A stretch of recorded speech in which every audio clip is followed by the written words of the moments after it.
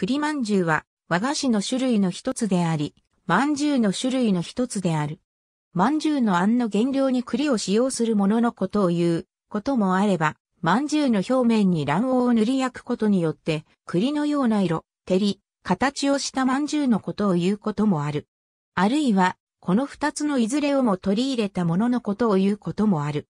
多くは白あんが使われ、白あんに茹でた栗を潰したあんを混ぜたもの、あるいは茹でた栗をそのまま入れたものなど多くの種類があるが、スーパーマーケットなどで市販されている栗まんじゅうの多くは卵黄を塗ることによって焦げ茶色の焼き色をつけている。栗の形をしたものは下の部分に消しの実をまぶすこともある。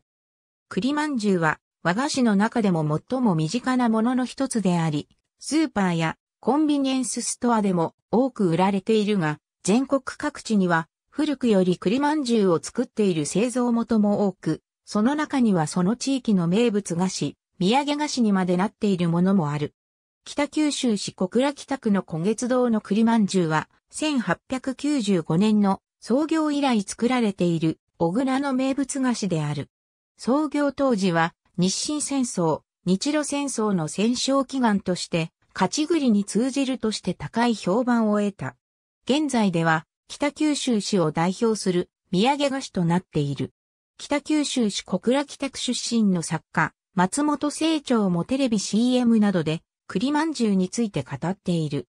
長崎市の田中明栄堂の栗まんじゅうも明治中期より長崎市の名物菓子で小ぶりのものから栗を丸ごと使った大きなものまでサイズが多種である。1988年の第21回全国菓子大博覧会で最高賞の名誉総裁賞を受賞している。昔は夏場に日持ちさせるために栗を煮るのに使う汁を煮詰めていたため、長崎一甘い饅頭と呼ばれていた。看板キャラクターの名前は栗王子。ありがとうございます。